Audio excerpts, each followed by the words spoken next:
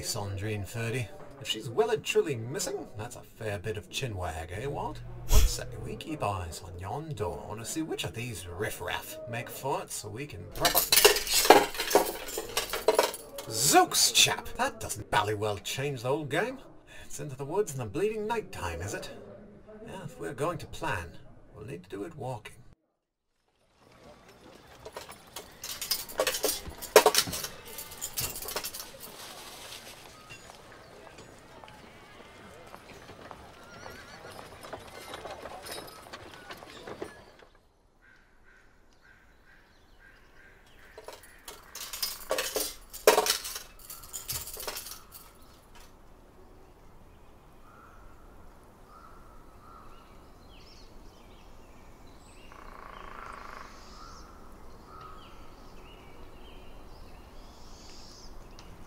Righto.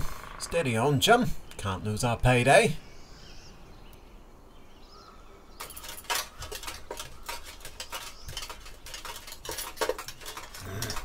Who back there?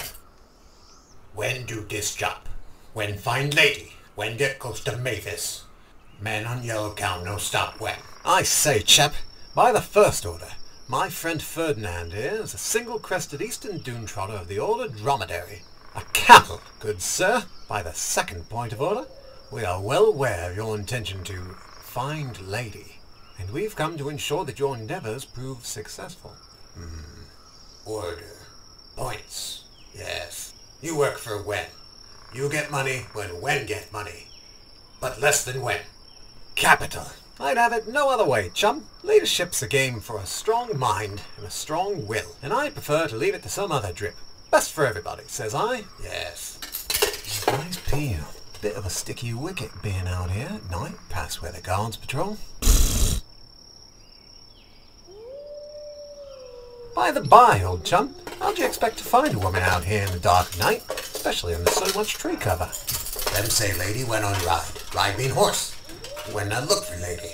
When look for horse. If lady on path. Lady not missing. When look for spot where horse leave path. Horse big. Horse heavy. Men on yellow cow not smart like when. When see all things. Fools, you have entered my domain. A mistake, the likes of which you will never again replicate.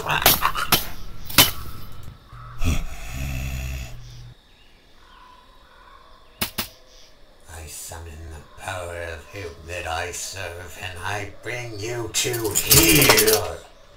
I say, good show, madam. I hadn't the foggiest you were hereabouts, and a good job you were. If you work for Wen, and fine lady, Wen pay you same as man on yellow cow. Now, hold a moment. What's this old sapling chap and his spiky-vined lackeys? Mightn't they be related to our quarry? Hello? Honestly, the rudeness on display. Yes, of course I've lit a torch. I can't bally well search without one. And growl and grumble all you'd like, but you both see better in the light, and you damnably well know it. Ah, it's a good thing I have lit a torch, or we'd have walked straight on past. Bravo for practicality! Look here, I say, the game trail crosses the path. And that's not a horse track square in the middle, then I'm not Terence Riverwater. Perhaps she was waylaid and forced to make this detour.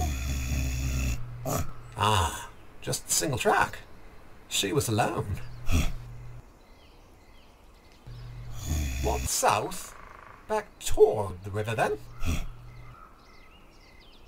I've heard of leading a horse to water, but into it, there's no cause for travelling through the water unless... Lady not missing. Lady gone on purpose. Yo, what is up, every people? Bloob back here again, and in episode two, we got to see a little bit of what those tunes you've chosen can do in a scrap. So what's every people thinking? Is this a dead end for their search? How might they go about finding the Lady Sandrine now? She'll be damn tough to track through that water, if that is what's happening. Or maybe she didn't walk through the river at all. Maybe she met a boat. maybe, I don't know, the group just needs to kind of ask around, see if they can find somebody who saw something and is talking, or maybe they can find some way to use more or stronger senses. Is there a clever way that they might gain a bird's eye view, or um, gain the use of something with a good sense of smell, like we use bloodhounds? Or maybe, maybe they'll just stubbornly keep searching anyway. They could try following the river up or downstream and see if the trail picks back up. As always, chuck your ideas down there in the comments and please mush up on my like and subscribe buttons down there in my downstairs mix-up. And I will see you next time in episode 3.